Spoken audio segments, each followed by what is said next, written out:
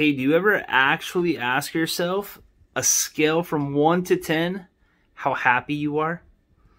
Sometimes we got to take the time to really reflect on our happiness level because this directly affects everything in your life. If you are happy, you typically are a nicer person.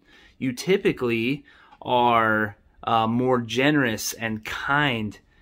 When we are not happy with our current life situations, we tend to be grumpy. We tend to not um, go out of our way to to go the extra mile with uh, a certain relationship or or anything like that, right?